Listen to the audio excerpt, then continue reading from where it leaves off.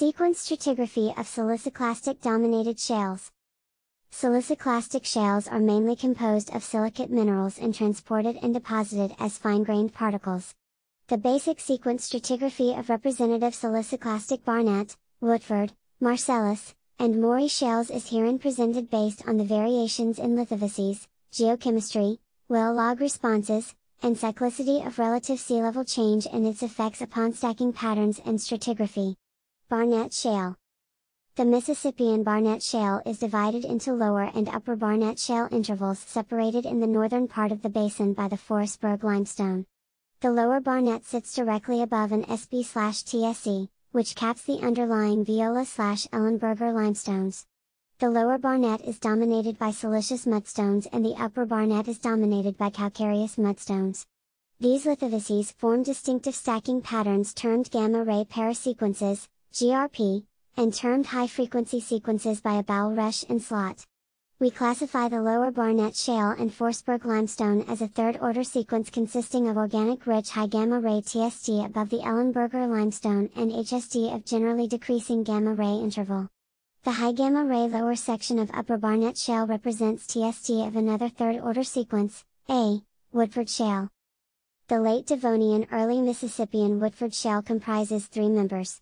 They are represented by the lower Woodford Black Shale, unconformably, SB/TSE, overlying, SB/TSE, the Hunton Group carbonates, by the middle Woodford Organic Rich Black Pyritic Shale, and by the more quartzous phosphatic Upper Woodford. The Woodford Shale was deposited during a second-order sea level cycle consisting of several third-order sequences. Each third-order sequence comprises a TST with upward increasing in gamma ray and a HST with upward decreasing in gamma ray, B, Marcellus Shale. The organic rich Lower Union Springs member of Devonian Marcellus Shale in the northeastern USA was deposited as a third-order sequence in the Appalachian Foreland Basin.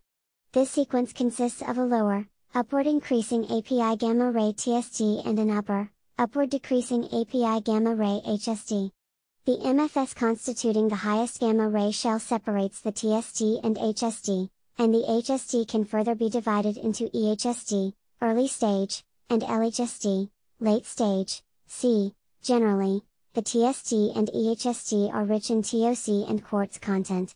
Mowry Shale The Cretaceous Mowry Shale in Wyoming consists of third-order sequences with each consisting of TST and HST. TST sits sharply above the SB slash TSE and is indicated by a shale interval of upward increasing in gamma ray and resistivity, RT. The MFS has the highest gamma ray representing the highest sea level. HST generally consists of shale with upward decreasing in gamma ray and resistivity, RT. Longmaxi Shale. The lower Silurian Longmaxi Shale with the best marine shale gas potential is a typical example.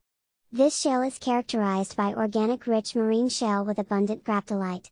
The thicker organic rich portion of this Silurian shale was mainly deposited in intra-shelf lows, bathymetric lows on the shelf, since the foredeep area was subject to clastic sediments dilution from the orogenic belt.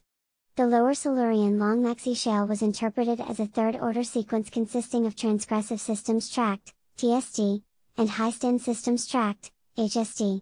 Based on the lithofacies and geochemical characteristics, the HST can be further subdivided into early high-stand systems tract, EHST, and late high-stand systems tract, LHST. During the deposition of the low-stand systems tract, LST, wide shelf areas have experienced erosion, and the sediments have deposited in proximal intra-shelf lows. During the deposition of the transgressive systems tract, TST, the shoreline backstepped toward sediment source areas. The shale is generally deposited in the wide shelf, inter-shelf low, and slope area. The organic rich shale interval with abundant in situ graptolite, for example Diplograptus, high gamma ray value, and high quartz content, is deposited in anoxic settings. During the deposition of the early high stand systems tract, EHST, the total organic content, TOC, in the shale may be high since the redox condition is still anoxic to dysoxic. The graptolite in EHST is characterized by transported microoffsite graptolite, for example monograptus. During the deposition of the late high stand systems tract, LHST, A further fall of sea level resulted in an increased input of siltstone and sandstone within the shales. See silty layer in core images of the LHST shale in. During this time interval, sedimentary environment changes to oxygenated shallow marine setting and the coarsening upward sequence made up of carbonitic shale and silty shales progrades basinward. The shale in LHST is organic lean and clay-rich shale due to the dilution of clastic input. Generally, the Paleozoic marine shale in TST and EHST has high TOC, high quartz content, and high gas content and is the main target for shale gas play in China. The intervals with high TOC and quartz content in TST and EHST have higher porosity. The porosity in LHST is the highest due to the contribution of silty shale. The sandstone or carbonate in the LHST may trap gas migrated from the TST and EHST shale source rock, and they can form tight sand slash carbonate gas play. Sequence stratigraphy of typical Barnett, Woodford, Marcellus and Mowry siliciclastic marine shales in U.S. original data of Barnett Shale, Woodford Shale, and Marcellus Shale are from Slatt and Rodriguez, 2012, Slatt and Rodriguez, 2014, and Lash and Engelder, 2011, respectively.